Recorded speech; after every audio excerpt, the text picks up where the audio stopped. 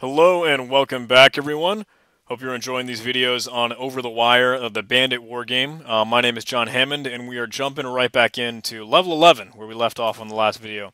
Um, we've got the password saved, storing it in this uh, file that we're reading out through some bash command substitution, passing it to sshpass so we don't have to enter the password each time, uh, and just running with that user for our SSH connection. So once we log into the level, let's check the prompt for this. Password for this level is going to be stored in this file data.txt, where all the lowercase and uppercase letters A through Z are rotated by 13 positions. Huh. Okay, so we've got that data.txt file, and we can assume this is trying to say the password is all this nonsense, but it's shifted and it's rotated by those 13 positions. So this is a Caesar cipher. This is at its base a Caesar cipher or a ROT 13 rotate by 13 places uh, substitution cipher. Really, really simple, not that hard to break because obviously it's just moving one letter in the alphabet into a different letter in the alphabet, just kind of moving it over right or left those 13 places. So 13 is not too, too difficult to do because it's just in the middle of the alphabet, right? The 26 letters. And we can just do this really easily with an online tool, Rotate 13 or rot13.com should just work this fine. We can paste this in and okay, we get our password. That's that's nice and convenient. It's not too much fun when we're not doing it in the command line though, because that's what we like to do. So I don't think this is installed in here. It's not, okay? Um, if you are on your home system outside of uh, the bandit level war game. You can use ROT 13, which again may not be installed, um, but it's in the package BSD games. So you can install sudo apt-get install BSD games, and that will install ROT 13 and Caesar. Caesar is also really handy because Caesar, you can pass it the number that you want to rotate these uh, the, rotate this by. Um, so even if it's not a ROT13 cipher, you can do a for loop and just do a brute force. Okay, what is the key that's being used for this rotation? Um, if it's a substitution cipher, just by shifting the alphabet, shifting letters. So if we had this original string like like we do here, um, I'm gonna get the original back. We can echo. I'm not going to use cat because cat, it's not a file name. It's just echo to put this in center output. Let's echo this onto the screen pass it to ROT13, and that works just fine as well. Cool. This is, uh, what level is this? Bandit 12? Yeah. Cool. Let's break out of here.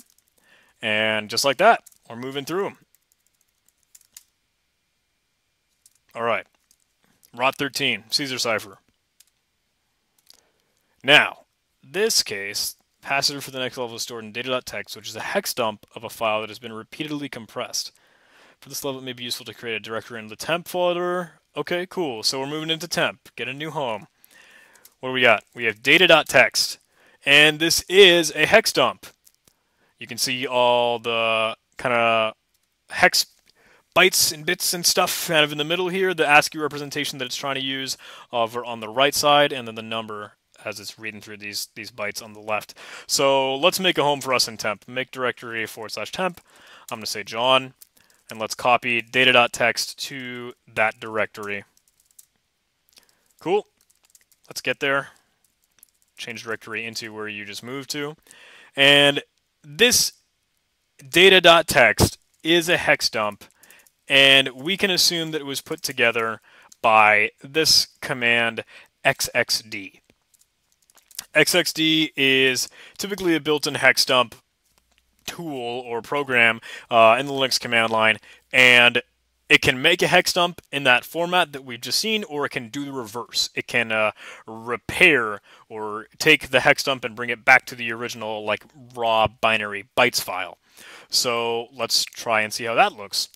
If we did xxd, said it was tac reverse, right? And it needs probably the file that we're working with, so data.txt, and cool. Now we've got all this raw, gross bytes, but we can store this in a file. Let's redirect this with that greater than symbol, that Waka Waka arrow, to uh, bring it to like something, right? And that'll be our new file. So now that it's there, we can run file on something and try and identify what this thing is.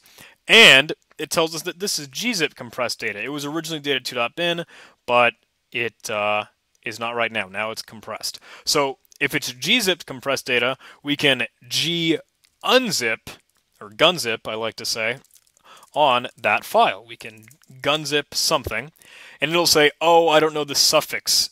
Ignored. I'm not going to do anything." Okay, so Gunzip and a lot of other compression tools uh, don't really play that nicely if you don't have the correct file extension. So let's move that something to something.gzip. And now we can gunzip that. Maybe it wants it as just GZ, I think.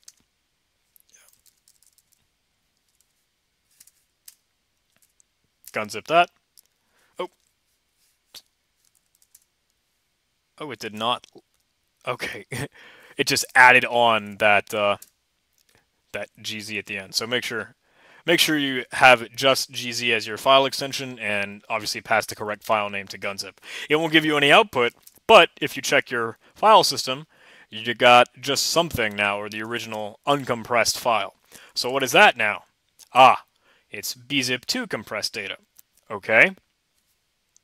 Let's try and bunzip that, or bunzip, and it's bunzip2. That's a built-in, and again, utility here. Give it the file name that we're working with. It needs to know Oh, okay, I guess it didn't know what the file name was originally, so it just guessed, but now I've got this, and it's still, okay, gzip again. Let's move this back to where we had it before. I think this process happens a lot. Let's kind of lather, rinse, repeat here. Oh, this is a tar archive. Okay. If you haven't seen the uh, tar command yet, it's a tape archive, another kind of common Linux archive file format, a lot like Windows has the zip archive that it's typically used to. tar is, again, historic and traditional for Linux. Um, we can extract with tar x, and then the file that we're working with. And you may need to use tac f to format, or I'm sorry, force that from terminal, whatever. And now it's got some things extracted. It's got data5.bin and that is apparently another tar archive. So let's tar x f. If you actually supply v here, v and f I think should always be at the end for tar for some reason. tar is a weird thing. There's a lot of funny XKCD comics about the arguments for tar that no one really knows them, but you just say random letters. tar XVF to see the file names that it's working through, and then let's just use the data5.bin. Okay, now it extracted data6.bin. What is that? That's bzip2. So let's bunzip that one. I'm sure you guys are getting the hang of this at this point.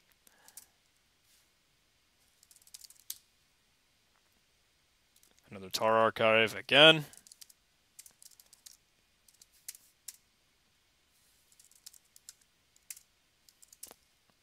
Now, another gzip. Let's move that to .gz.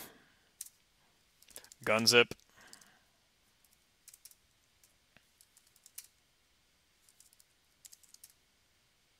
And now we have ASCII text as data8.bin. So that must be our password. And there it is. Okay, excellent. Cool.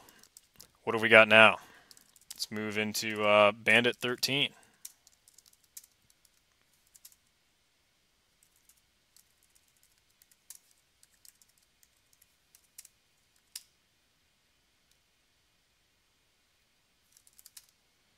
Oh, we have a SSH key, private, a private SSH key. Password for the next level is stored in this and can only be read by user 14. For this level, you don't get the next password, but you get a private SSH key that can be used to log into the next level. Okay, so we can use localhost to refer to the machine we're currently working on. Okay, so let's SSH kind of into ourselves here as... Can we use this SSH private key? Okay, it's we can read it. We so we are Bandit 13, and as the group, we have the permissions just in the middle here to R for read. The RW and that hyphen at the very end is just for the owner, Bandit 14, but the group, the next three, um, we can just read it. So we can SSH tac i now to use an identifier or a file with the SSH key that private as our private key that we're going to use to authenticate, not a password anymore. Um, and let's do this to ourselves, right? Localhost, and we want to specify the username. So we want to be bandit14 now. We can accept this whatever fingerprint thing, and now we're level 14. Great. Okay, the password for the next level can be retrieved by submitting the password for the current level to port 30,000. I read it right this time. I, I was able to process that number. that number on uh, that port on our local host, on ourself. Okay, let's do that with Netcat. So Netcat or NC is how we can make these connections to just different ports or specific services or, connections uh, with the specific host name, in this case localhost, or any other computer with that port. So first we need to know the password for this level. We know that that is in etc bandit pass, right? Yep, I just used tab to autocomplete there. It's a directory, but we want it for bandit 14. Cool.